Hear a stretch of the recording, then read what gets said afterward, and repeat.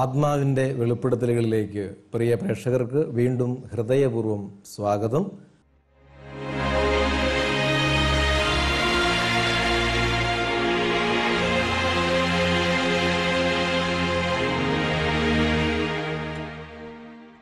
പതിവുള്ളതുപോലെ നായ്ക്കമ്പറമ്പലച്ചൻ നേതൃത്വം കൊടുക്കുന്ന പ്രാർത്ഥനയോടെ ഈ ശുശ്രൂഷ നമുക്ക് ആരംഭിക്കാം. സ്നേഹ പിതാവായ ദൈവമേ ലോകത്തിന്റെ വിവിധ ഭാഗങ്ങളിൽ ആയിരുന്നുകൊണ്ട് ഗുഡ്നസ് ടി വിയിലൂടെയുള്ള വചനം പങ്കുവെക്കുന്ന ശുശ്രൂഷ. ആത്മാഭിഷേകത്തിന് വേണ്ടി ഒരുങ്ങുന്ന ശുശ്രൂഷ. ഇതിൽ സംബന്ധിക്കുന്ന എല്ലാവരെയും അവരുടെ എല്ലാ തകർച്ചകളിലും ദുഃഖങ്ങളിലും ഭാരങ്ങളിലും രോഗപീഠകളിലും എല്ലാം അവിടുത്തെ ആശ്വാസം അയച്ച് എല്ലാവരെയും ഇന്നത്തെ ശുശ്രൂഷയിലൂടെ ശക്തിപ്പെടുത്തണമേ. വചനം ശ്രവിക്കുന്ന സാക്ഷ്യം ശ്രവിക്കുന്ന എല്ലാവരിലേക്കും അങ്ങയുടെ വാഗ്ദാനമായ പരിശുദ്ധാത്മാവിനെ സമൃദ്ധമായിട്ട് അയക്കണമേ. ശരീരത്തിനും മനസ്സിനും ആത്മാവിനും വ്യക്തിബന്ധങ്ങൾക്കും സാമ്പത്തിക മേഖലയ്ക്കും സൗഖ്യവും വിടുതലും സമൃദ്ധമായി നൽകണമേ. പിതാവിന്റെയും പുത്രന്റെയും പരിശുദ്ധാത്മാവിന്റെയും നാമത്തിൽ ആമേൻ. പരിശുദ്ധ അമ്മേ ഇന്നത്തെ ശുശ്രൂഷയ്ക്ക് വേണ്ടി മധ്യസ്ഥം വഹിക്കണമേ. കോടാനുകോടി വിശുദ്ധരോടും മലാഖമാരോടും കൂടെ ഈ ശുശ്രൂഷയിൽ ഉണ്ടായിരിക്കണമേ. യേശുവെ നന്ദി. യേശുവേ യേശുവെ സ്തുതി. യേശുവേ സ്തുതി. ഹല്ലേലൂയ. ഹല്ലേലൂയ.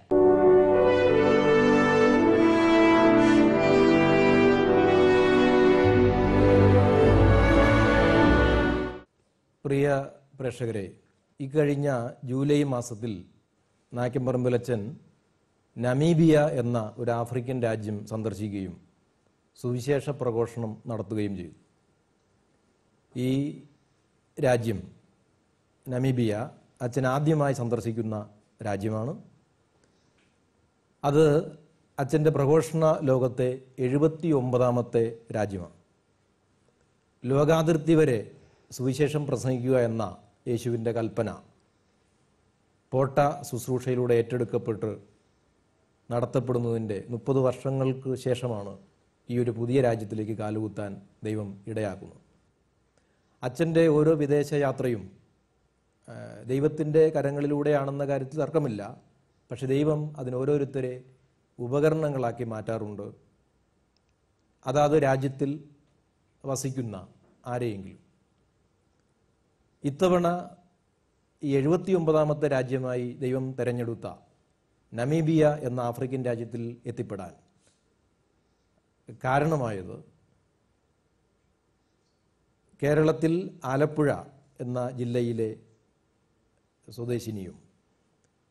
ഇപ്പോൾ ഈ നമ്മൾ പറഞ്ഞുകൊണ്ടിരിക്കുന്ന നമീബിയ എന്ന രാജ്യത്തിൽ പത്തൊമ്പത് വർഷക്കാലമായി ഒരു സ്കൂൾ നടത്തിക്കൊണ്ടിരിക്കുന്ന അതിന്റെ പ്രിൻസിപ്പൽ കൂടിയാണ്. നാൽപ്പത്തി നാല് വർഷങ്ങളായി ആഫ്രിക്കൻ രാജ്യങ്ങളിൽ സേവനമനുഷ്ഠിക്കുന്ന ഈ സഹോദരി ആണ് നമുക്കിന്ന് അതിഥിയായി കൂടെയുള്ളത്. ഈ സഹോദരിയുടെ പേര് മേരി ഫിലിക്സ് യേശുദാസ് എന്നാണ്. മേരി ഫിലിക്സ് യേശുദാസ് ആഫ്രിക്കയുടെ മണ്ണിൽ ദൈവവചനത്തിന് സാക്ഷ്യമാകുവാൻ ദൈവത്താൽ തിരഞ്ഞെടുക്കപ്പെട്ട ശുശ്രൂഷക ആഫ്രിക്കയിലെ നമീബിയ എന്ന സ്ഥലത്ത് ദരിദ്ര ജീവിതങ്ങൾക്കിടയിൽ വിദ്യാഭ്യാസത്തിലൂടെയും ശുശ്രൂഷാ ജീവിതത്തിലൂടെയും ദൈവത്തിന്റെ അനുഗ്രഹങ്ങൾ ഏറ്റുവാങ്ങിക്കൊണ്ട് തനിക്ക് ചുറ്റുമുള്ളവർക്ക് അനുഗ്രഹമായി മാറിയ അനുഗ്രഹിക്കപ്പെട്ട ജീവിത സാക്ഷ്യമായി മേരി ഫില്ലീസ് യേശുദാസ് നമിബിയയിൽ തന്റെ ശുശ്രൂഷ ഇന്നും തുടരുന്നു.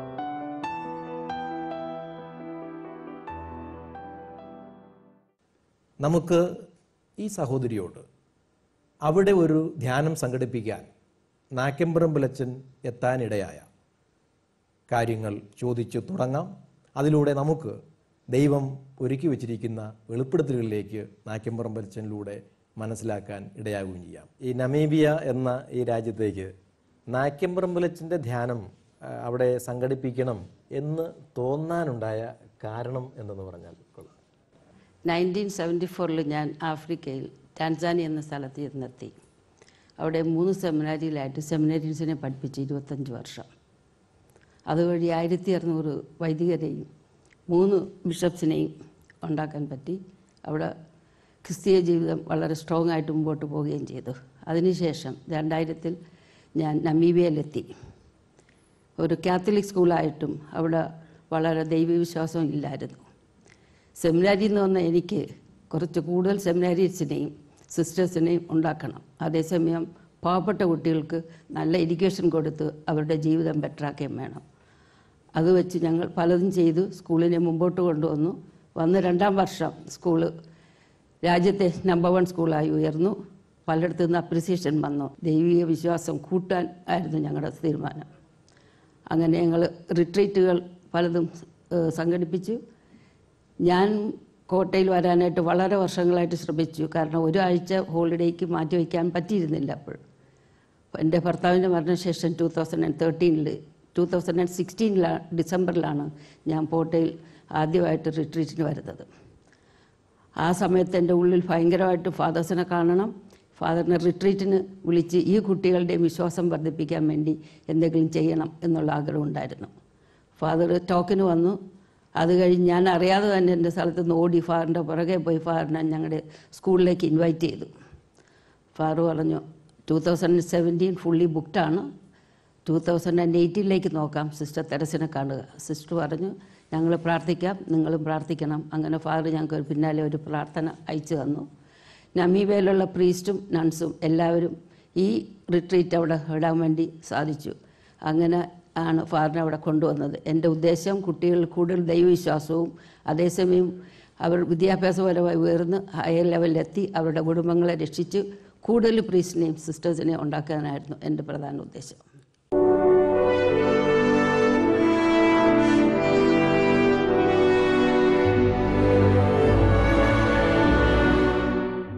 ഈ നമീബിയ എന്ന രാജ്യത്ത് അച്ഛനെത്തിപ്പെടാൻ ഇടയായ കാരണമാണ് നമ്മൾ സഹോദരിയിൽ നിന്ന് കേട്ടുകൊണ്ടിരുന്നത്. അച്ഛ എന്റെ ഒരു മനസ്സിൽ ഉയർന്ന ചോദ്യം. സാധാരണ ഈ കൊറിയയ്ക്ക് വേണ്ടി പ്രാർത്ഥിക്കുക അങ്ങനെ ഓരോ രാജ്യത്തിന്റെ പേര് പറഞ്ഞ് ആ രാജ്യത്ത് പ്രഘോഷണ അവസരം കിട്ടാൻ വേണ്ടി പ്രാർത്ഥിച്ചിരുന്നതായി ആത്മാവിന്റെ ഉൾപ്പെടുത്തലുള്ള ശ്രോതാക്കൾക്ക് പരിചിതമാണ്. ചിരപരിചിതമായ ഒരു പ്രയോഗമാണ്. ഇന്ന ഇന്ന രാജ്യങ്ങൾ അവിടുത്തെ എണ്ണം എല്ലാം പറഞ്ഞ് പ്രാർത്ഥിക്കും. അങ്ങനെ ഈ നമീബിയ എന്നത് അച്ഛന്റെ പ്രാർത്ഥനയുടെ പട്ടികയിലുണ്ടായിരുന്നു ഒരു പ്രഘോഷണത്തിനായി എന്തെങ്കിലും ചെല്ലുമെന്ന് ആഗ്രഹിക്കുകയോ സ്വപ്നം കാണുകയോ ചെയ്തിരുന്നു. നമീബിയയിൽ നിന്ന് ധ്യാനം ചോദിച്ചുകൊണ്ട് സഹോദരിയും സംഘവും വന്നിരുന്നു. എന്നല്ലാതെ നമീബിയ എന്ന് പേര് പറഞ്ഞ് പ്രാർത്ഥിക്കുക ആ നിയോഗം ദൈവം അങ്ങോട്ടാണ് കൊടുത്തത്. അപ്പോൾ മറ്റ് ചില രാജ്യങ്ങൾക്ക് വേണ്ടി കൊറിയ ഇങ്ങനെ പറഞ്ഞ് പ്രാർത്ഥിച്ചിരുന്നു. ദൈവം ഓരോരുത്തരെയും നിയോഗിക്കുകയാണ്. അതൊരു വലിയ വിളിയാണ്. അവർ ചുമതല കർത്താവ് തന്നെ പരിശുദ്ധാത്മാവ് തന്നെ ചുമതലപ്പെടുത്തി അവരെ നയിച്ചു എന്നാണ് മനസ്സിലാക്കേണ്ടത്. അതായത് അച്ഛൻ ഈ നമീബിയ എന്ന രാജ്യത്തിന് വേണ്ടി അവിടെ എത്തണമെന്ന് ആഗ്രഹിച്ചോ പ്രഘോഷിക്കണമെന്ന് ആഗ്രഹിച്ചോ പ്രാർത്ഥിച്ചിരുന്നില്ല. കുറേക്ക് വേണ്ടിയിട്ടൊക്കെ പ്രാർത്ഥിച്ച് നമുക്കറിയാം. പക്ഷേ ദൈവം ഈ മരിയ ഫിലിക്സ് യേശുദാസ് എന്ന ആളെ ചുമതലപ്പെടുത്തിയിരുന്നു. അപ്പം അച്ഛനൊക്കെ വഹിക്കേണ്ട മധ്യസ്ഥം ആ രാജ്യത്തിരുന്ന ആളുകളായി ഈ സഹോദരി വഹിച്ചുകൊണ്ടിരിക്കുന്നു എന്നാണ് അതിന് അർത്ഥം വരുന്നത്. അത്രമാത്രം ഈ പ്രഘോഷണ വഴിയിൽ ഒരു ഉപാധിയാക്കി ഉപകരണമാക്കി ഈ സഹോദരി തിരഞ്ഞെടുത്തിരുന്നു എന്നാണ് മനസ്സിലാകുന്നത്. ഈ നേരത്തെ പറഞ്ഞല്ലോ അതായത് അവിടുത്തെ കുട്ടികളുടെ ആധ്യാത്മിക നവോത്ഥാനമൊക്കെയാണ് ലക്ഷ്യമെന്ന്. അവിടെ ഈ ധാർമ്മികമായോ വിശ്വാസപരമോ ആയ എന്ത് പരാജയമാണ് അവിടെ ഒരു ധ്യാനം ആവശ്യമാക്കും വിധം നിലനിന്നിരുന്നത്. നമ്മൾ സ്കൂളിൽ വരുന്ന കുട്ടികൾ അധികവും ക്രിസ്ത്യൻസാണ്. കുറച്ച് കാത്തലിക്സ് ഉണ്ട് ബാക്കി ആംഗ്ലിക്കൻസ് ലൂതഡൻ എപ്പോഴും ഈ കുട്ടികൾക്ക് പ്രശ്നം വരുമ്പോൾ ഞങ്ങൾ ബാക്ക്ഗ്രൗണ്ട് പഠിക്കും. പഠിച്ചതിനകത്ത് നിന്ന് ബ്രോക്കൺ ഫാമിലീസിൽ നിന്നാണ് ഈ കുട്ടികൾക്ക് പലർക്കും പ്രശ്നങ്ങൾ വരുന്നത്. അപ്പോൾ അങ്ങനെയുള്ള കുട്ടികളെ നമ്മൾ വിളിച്ച് സ്പെഷ്യൽ കൗൺസിലിംഗ് നടത്തി അവരെ ശരിയായിട്ട് പഠിപ്പിച്ച് അവർ പിന്നെ പഠിത്തത്തിൽ ഇൻട്രസ്റ്റഡ് ആയി അങ്ങനെ പോകുമായിരുന്നു. അപ്പോൾ ഞങ്ങൾ വിചാരിച്ചു ഇനി കുട്ടികളിൽ സ്കൂളിൽ വെച്ച് തന്നെ ഒരു പ്രാർത്ഥനാശീലവും ബൈബിൾ റീഡിങ്ങും ഗ്രോസറി ചൊല്ലുക അതൊക്കെ നമ്മൾ ശരിയാക്കുക. അതുപോലെ തന്നെ പള്ളിയിലുള്ള കാര്യങ്ങൾ അവർ ആക്റ്റീവായിട്ട് എടുക്കുക. അങ്ങനെ കൂടുതൽ റിലീജിയസ് ആയിട്ടുള്ള ആക്ടിവിറ്റീസിൽ ഇവരെ നമ്മൾ മുമ്പോട്ട് കൊണ്ടുവന്നു. അതിനനുസരിച്ച് അവർ സ്ട്രോങ് ആയിട്ട് പഠിക്കുകയും ചെയ്യുമായിരുന്നു. ഈ കുട്ടികളെ എവിടെ പോയാലും സ്പോർട്സിന് പോയാലും പ്രാർത്ഥിക്കാതെ അവർ കഴിക്കത്തില്ല. പ്രാർത്ഥിച്ചു കഴിഞ്ഞും അവർ കഴിച്ചിട്ട് പ്രാർത്ഥിച്ച് കഴിച്ചു കഴിഞ്ഞിട്ടും പ്രാർത്ഥിച്ചേ പോകത്തുള്ളൂ. ഡൈനിങ് ഹാളിലാണെങ്കിലും ഞാനില്ലെങ്കിലും they have their own prayers അത് അവർ പ്രാർത്ഥിക്കും. തീർന്നു കഴിയുമ്പം അവർ പ്രാർത്ഥിക്കും. ക്ലാസ് തുടങ്ങുമ്പോഴും ക്ലാസ് തീരുമ്പോഴും അവർ പ്രാർത്ഥിക്കും. അങ്ങനെ ഞാൻ ചെന്ന് മൂന്ന് വർഷം കഴിഞ്ഞപ്പോൾ റിട്രീറ്റ് തുടങ്ങി. അവിടെയുള്ളൊരു പ്രീസിനെ കൊണ്ട് ഞങ്ങളുടെ വികാര ജനറൽ അത് കഴിഞ്ഞപ്പോൾ അവർ പറഞ്ഞു ഞങ്ങൾക്ക് ഇനിയും വേണം. അടുത്ത വർഷം എപ്പോഴാണ് വരുന്നത്? ഒരു കരിസ്മാറ്റിക് പ്രേ ഗ്രൂപ്പ് ഉണ്ടായിരുന്നു. കുറേ ഹീലിംഗ് ഒക്കെ നടന്നു.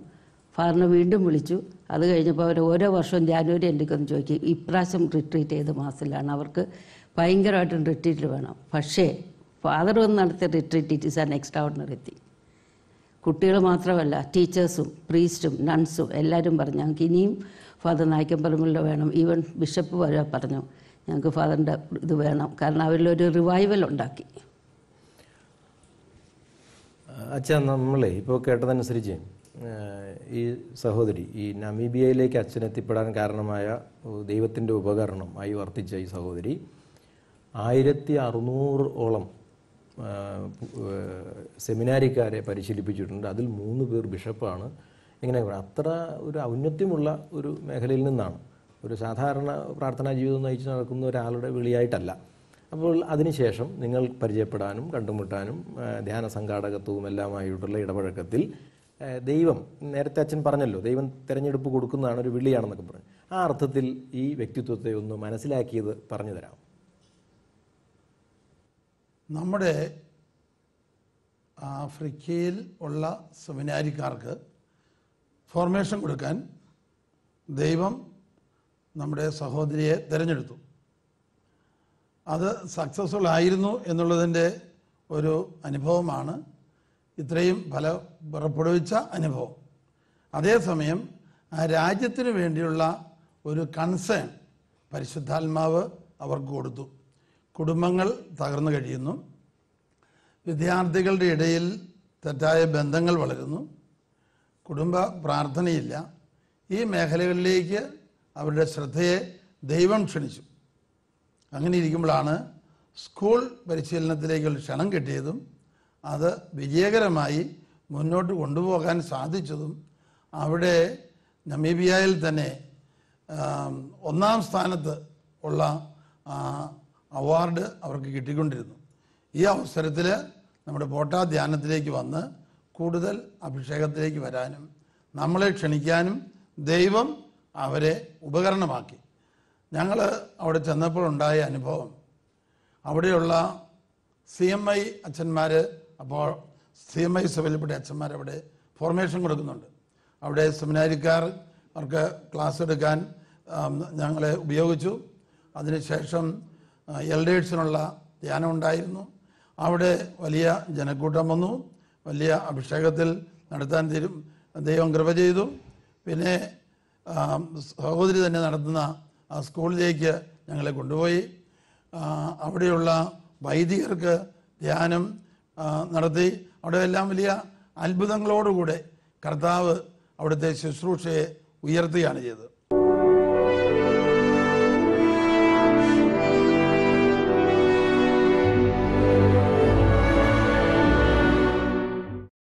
അല്പം മുമ്പ് ഈ സഹോദരി പറഞ്ഞപ്പോൾ പലപ്പോഴും ഓരോ വർഷവും അവിടെ ഇതേ ലക്ഷ്യത്തിൽ ധ്യാനം സംഘടിപ്പിക്കാറുണ്ട്. പക്ഷെ നായക്കമ്പറമ്പിലച്ചൻ വന്ന് നടത്തിയ ധ്യാനം അത് വളരെ സാധാരണമല്ലാത്ത അതിസാധാരണമായ ഒന്നാണ്. ബിഷപ്പുമാർ പോലും അങ്ങനെ പറഞ്ഞു എന്ന് പറഞ്ഞു. എന്തായിരുന്നു നായ്ക്കമ്പറമ്പിലച്ചൻ വന്നതിലൂടെ കണ്ട വ്യത്യാസം? അല്ലെങ്കിൽ എന്തെങ്കിലും പെട്ടെന്ന് ഓർമ്മയിൽ വരുന്ന അതിശയങ്ങളോ മാനസാന്തരമോ അങ്ങനെയുള്ള ഓർമ്മകൾ പറഞ്ഞാൽ കൊള്ളാം. ഫാദർ ഒരു പ്രത്യേക വേ ഓഫ് പ്രേയിങ് മലയാളം പല ഓക്കെ ഈശോയുടെ പ്രഷ്യസ് ബ്ലഡ് കൊണ്ട് ഞങ്ങളെ കഴുകണമേ. പരിശുദ്ധാത്മാവിനാൽ ഞങ്ങളെ നിറയ്ക്കണമേ. ഞങ്ങളെയും ഇതുപോലെയുള്ള അയ്യായിരം അല്ലെങ്കിൽ അമ്പതിനായിരം പേരെയും ഇതുപോലെ രക്ഷിക്കണേ. ആ ഒരു ട്രെൻഡ് കൊച്ചുങ്ങളുടെ ബ്ലഡിലായി ഈവൻ ദിവ്യബലിയുടെ സമയത്തും അവർ പ്രാർത്ഥിക്കുമ്പോൾ എക്സാമിന്റെ ടൈമിൽ ഞങ്ങളെയും അതുപോലെ എഴുതുന്ന അനദർ ടെൻ തൗസൻഡ് ആൾക്കാരെയും എനിക്ക് അപ്പം ഫാദർ പഠിപ്പിച്ചത് ഒറ്റയ്ക്ക് മാത്രമല്ല മറ്റുള്ളവർക്ക് വേണ്ടി കൂടെ പ്രാർത്ഥിക്കണം. അപ്പം അഭിഷേകം വളരെ സ്ട്രോങ് ആയിരിക്കും. അതാണ് എല്ലാവർക്കും കിട്ടിയ ഒരു പ്രത്യേക അനുഗ്രഹം. അച്ഛൻ പൊതുവെ ഈ തിരുരക്തത്തിന്റെ ശക്തി ഈ കഴിഞ്ഞ ഒരു എപ്പിസോഡിലും ഇതുപോലെ തന്നെ യേശുവിന്റെ രക്തത്തിന്റെ അനന്ത യോഗ്യതയെക്കുറിച്ച് പറഞ്ഞു. അപ്പോൾ അച്ഛന് അച്ഛന്റെ പ്രാർത്ഥനാ വിഷയമോ സന്ദർശന താല്പര്യ വിഷയമോ അല്ലായിരുന്നുവെങ്കിലും ഈ ഒരു സന്ദേശം ഈ സഹോദരി പറഞ്ഞനുസരിച്ച് ആ ഒരു പ്രാർത്ഥന ആ കുട്ടികളുടെ രക്തത്തിൽ കലർന്നു എന്നാണ് പറഞ്ഞത്. വളരെ ശ്രദ്ധേയമായ കാര്യമാണ്. അതിനുശേഷം അവരുടെ പ്രാർത്ഥനാ സന്ദർഭങ്ങളിലെല്ലാം ഈ അച്ഛൻ ഏറ്റവും പ്രാധാന്യം കൊടുത്ത് പഠിപ്പിക്കുന്ന തിരുരക്തത്തെ സംബന്ധിച്ച പ്രാർത്ഥന അതിൽ മുക്കണമേ കഴുകണമേ പരിശുദ്ധാത്മാവ് നിറയ്ക്കണമേ വിശദീകരിക്കണമേ ഈ പ്രാർത്ഥന പോട്ടയുടേതെന്നോ അച്ഛന്റേതെന്നോ തനിമയുള്ളത് ഈ പ്രാർത്ഥന ആ ആഫ്രിക്കൻ രാജ്യത്ത് എത്തിയെന്നും അതവിടെ കത്തിപ്പെടുന്നു എന്നുള്ളതും ഒരു അഭിമാനകരമായ കാര്യമാണ്. ആ ഒരു കാര്യം. അപ്പോൾ അതിനു വേണ്ടിയുള്ളൊരു വിളി ആയിരുന്നോ എന്ന വിധത്തിൽ ഒരു സംശയത്തോടെ ഞാൻ ചോദിക്കുക. അതിനോടൊന്ന് പ്രതികരിച്ച് സംസാരിച്ചാലോ? എല്ലാ പ്രാർത്ഥനയും ദൈവത്തിന് പ്രീതികരമാകണമെങ്കിൽ മറ്റുള്ളവരെ ഉൾപ്പെടുത്തണം. കാരണം ഏറ്റവും പ്രധാനപ്പെട്ട കൽപ്പന സ്നേഹത്തിന്റെ കൽപ്പനയാണ്. പിന്നെ പ്രാർത്ഥന തുടരണമെങ്കിൽ അതും സന്തോഷത്തോടെ തുടരണമെങ്കിൽ സെൽഫ് സെന്റേഡ് ആകാതെ ഇരുന്നാൽ കൂടുതൽ ആവേശത്തോടെ നമുക്ക് പ്രാർത്ഥിക്കാൻ പറ്റും. എനിക്ക് ഇന്നത് തരണമേ എനിക്ക് ഇന്നത് തരണമേ എന്നുള്ളതിനപ്പുറം എന്നെപ്പോലെയുള്ള അനേക ആയിരങ്ങൾക്ക് കൊടുക്കണമേ എന്നുള്ള പ്രാർത്ഥനയിൽ നമ്മൾ സ്നേഹത്തിൽ വളരുകയാണ്. ദൈവം പ്രസാദിക്കുന്ന പ്രാർത്ഥനയാണ്. നമുക്ക് അഭിമാനിക്കാവുന്ന പ്രാർത്ഥനയാണ്. കാരണം നമ്മൾ നമുക്ക് വേണ്ടി മാത്രം പ്രാർത്ഥിക്കുന്നില്ല. ഈശോ കുരിശിൽ കിടന്ന് ഏറ്റവും ആദ്യം പ്രാർത്ഥിച്ചത് പിതാവേ ഇവർ ചെയ്യുന്നത് എന്താണെന്ന് ഇവർ അറിയുന്നില്ല. ഇവരെ ശിക്ഷിക്കരുത്. ഇവരുടെ ശിക്ഷ എന്റെ ശരീരത്തിൽ ഞാൻ ഏറ്റെടുത്തിരിക്കുന്നു. അങ്ങനെ മറ്റുള്ളവരുടെ കാര്യത്തിലുള്ള ആ താല്പര്യം. പിന്നെ ഈശോ നമ്മോട് പറഞ്ഞു ഞാൻ നിങ്ങളെ സ്നേഹിച്ചതുപോലെ നിങ്ങളും പരസ്പരം സ്നേഹിക്കണം. മറ്റുള്ളവരുടെ രക്ഷ. മറ്റുള്ളവരെ ദൈവകൃപയിലേക്ക് ആനയിക്കുക. അപ്പം അതിലേക്ക് വരുമ്പോൾ ദൈവം പ്രസാദിക്കുന്നു. നമുക്ക് തന്നെ ഉത്തേജനം കിട്ടുന്നു. ദൈവം അനുഗ്രഹിക്കുന്നു.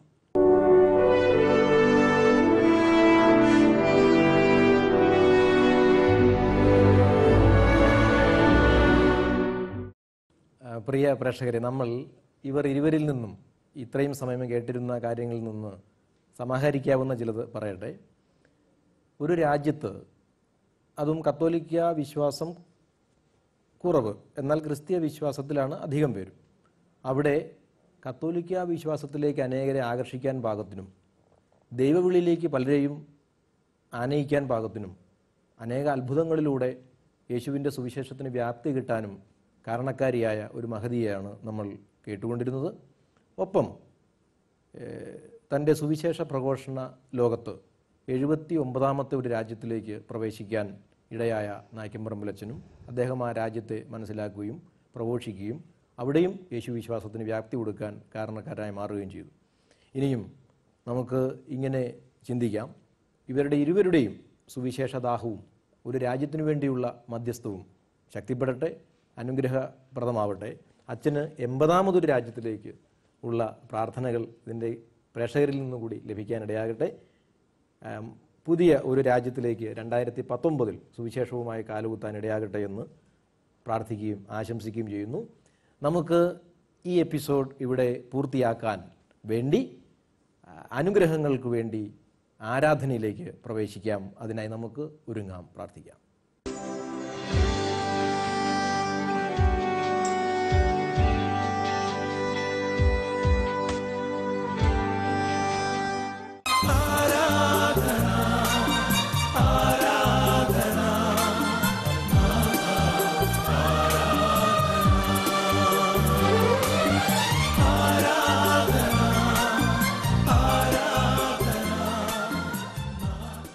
അനന്ത കരുണയായ ദൈവമേ അങ്ങയുടെ തിരുമുമ്പിലേക്ക് തകർച്ചയും ദുഃഖവും രോഗവും ഭാരവുമുള്ള ഒരു ലോകം മുഴുവനെയും ഞങ്ങൾ സമർപ്പിക്കുന്നു. പ്രത്യേകിച്ച് ഗുഡ്നെസ് ടി വിയിലൂടെ ആത്മാവിന്റെ വെളിപ്പെടുത്തലിലൂടെ വചനം കേൾക്കുകയും ദിവികാരണി ആരാധനയിൽ സംബന്ധിക്കുന്ന എല്ലാവരെയും പരിശുദ്ധാത്മാവ് കൊണ്ട് വചനം കൊണ്ട് നിറയ്ക്കണമേ. യേശയ്യ നാൽപ്പത്തഞ്ച് രണ്ട് മൂന്ന് ഞാൻ നിനക്ക് മുമ്പേ പോയി മലകൾ നിരപ്പാക്കുകയും പിച്ചളവാതിലുകൾ തകർക്കുകയും ഇരുമ്പോടാമ്പലുകൾ ഒടിക്കുകയും ചെയ്യും. നിന്നെ പേര് ചൊല്ലി വിളിക്കുന്ന ഇസ്രായേലിന്റെ കർത്താവായ ദൈവം ഞാനാണെന്ന് നീ അറിയേണ്ടതിന് അന്ധകാരത്തിലെ നിധികളും രഹസ്യ ധനശേഖരവും നിനക്ക് ഞാൻ നൽകും. ഹാലേ ലുയ പ്രിയപ്പെട്ടവരെ നമ്മുടെ കഷ്ടപ്പാടുകൾ തകർച്ചകൾ ആവശ്യങ്ങൾ ദുരിതങ്ങൾ നൊമ്പരങ്ങൾ എല്ലാം അറിയുന്ന ദൈവം ഇപ്പോൾ വിശുദ്ധ കുർബാനയിൽ കുർബാനയിലിരുന്ന് നമ്മെ അനുഗ്രഹിക്കുകയാണ്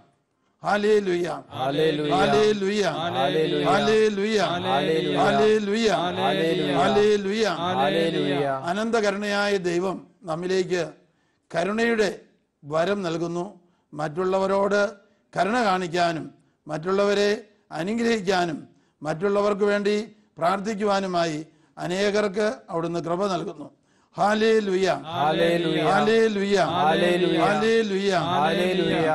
ശക്തമായ പുറം പുറംവേദന ശക്തമായ നടുവേദന അനേകം പേരെ കർത്താവ് ഇപ്പോൾ സുഖപ്പെടുത്തിക്കൊണ്ടിരിക്കുന്നു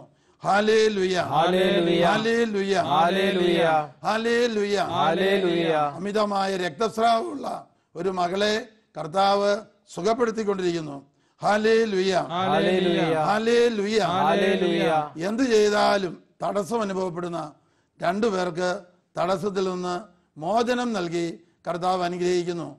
ഹാലേ ലുയ്യ. കൈകൾ ഉയർത്തി കൈയടിച്ച് കർത്താവിന് നന്ദി പറയാം. യേശുവേ നന്ദി. യേശുവേ സ്തുതി. ഹാലേ യേശുവേ നന്ദി. യേശുവേ സ്തോത്രം. ഹാലേ കൈകൾ ഉയർത്തി പരിശുദ്ധാത്മാവ് നിറയാൻ ദൈവസ്നേഹം നിറയാൻ നമ്മൾ എവിടെയായിരുന്നാലും ഏത് രാജ്യത്തായിരുന്നാലും ഇപ്പോൾ തന്നെ കൈകൾ ഉയർത്തി സ്തുതിച്ച് പ്രാർത്ഥിക്കുക. ഹലിലുയ യേശുവേ നന്ദി. ഹലിലുയ യേശുവേ സ്തുതി. ഹലിലുയ ഹലിലുയ യേശുവേ നന്ദി. ഹലിലുയ ഹലിലുയ ഹാലേ യേശുവേ നന്ദി.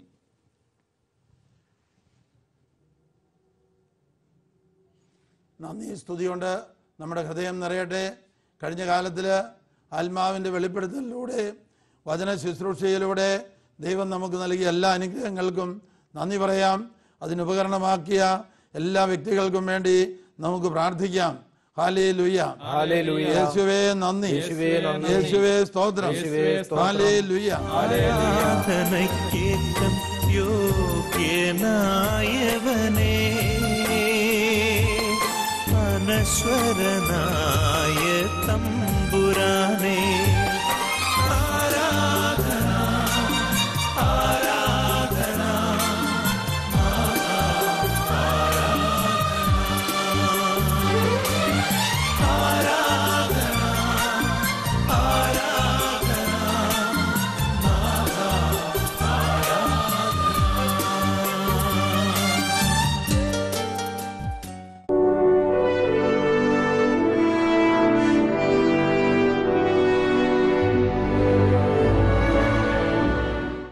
ഈ എപ്പിസോഡ് ഇവിടെ പൂർത്തിയാകുന്നു.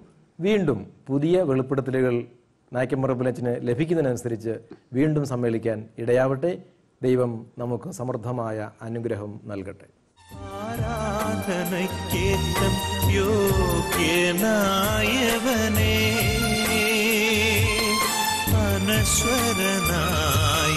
തമ്പുരാനേ അങ്ങേ സന്നിധി